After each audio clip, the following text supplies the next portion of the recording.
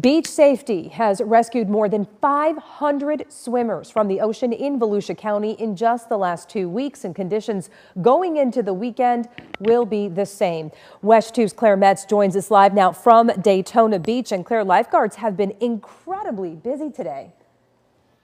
Yeah, it's really been that way. One rescue after another. In one case, three people from Lakeland were pulled out of the ocean, two expected to recover, to be okay.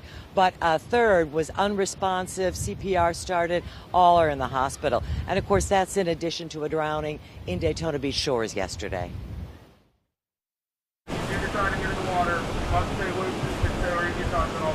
We have very hazardous rip current conditions. The water is, uh, it's really bad out there right now. It's been rough seas along the Volusia County coast through much of May, and now here we are June, same thing.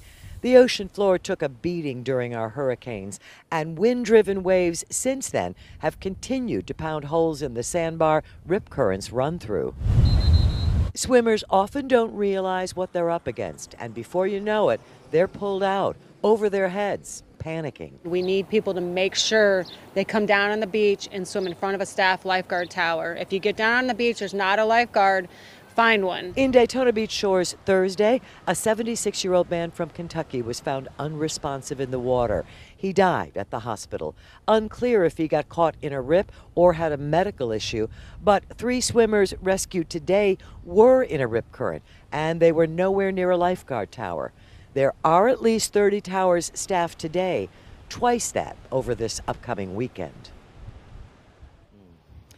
So that's good news to know. And in fact, that's what you're asked to do seek out one of those towers. So far today, about 38 rescues. We're waiting to hear about the condition of those folks from Lakeland, particularly the man who was in such bad shape.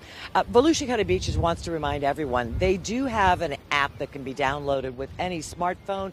It's got real time information, can tell you what ramps are open, what staffed lifeguard towers there are. It's really something to take with you if you've got a smartphone to download that and bring it to the beach. It's helpful in more ways than one. We're live in Daytona Beach, Volusia County. Claire Metz, WESH 2 News.